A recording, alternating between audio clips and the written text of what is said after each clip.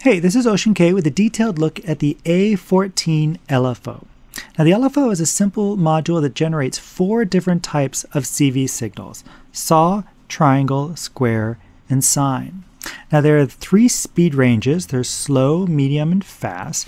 Let's put this LFO to work so we can hear how that sounds.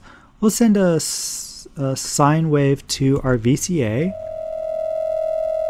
Now, at slow and our minimum, that's a very, very slow um, cycle. At fast our maximum, this is now in the audible range. So we can go from very fast to very slow. The LFO can also be tempo synced.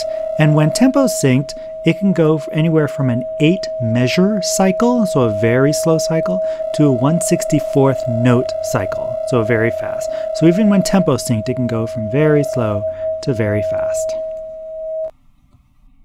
Now, if you've watched the detail video for the A11 VCO, you'll know that PW, or pulse width, only applies to square waves.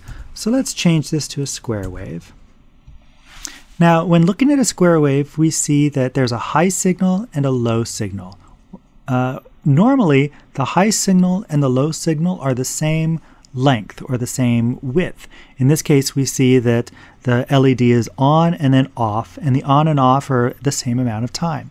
But if we change pulse width, we can see that the on becomes a lot longer and the off is very short, or changing it to the other side, the on is very short and the off is uh, much longer. So pulse width, pulse width only applies to square waves. All right. Now looking at the back, we see that we've got CV out signals uh, for all four uh, types of CV signals, and we can use them all at the same time. There are also CV ins to control sync, rate, and pulse width.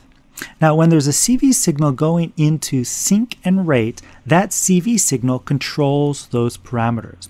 And when there's a connection to the pulse width CV in, that CV in signal controls the pulse width knob uh, the pulse width parameter, and the pulse width knob becomes a trim for that signal. So that's it. That's all there is to the A14 LFO.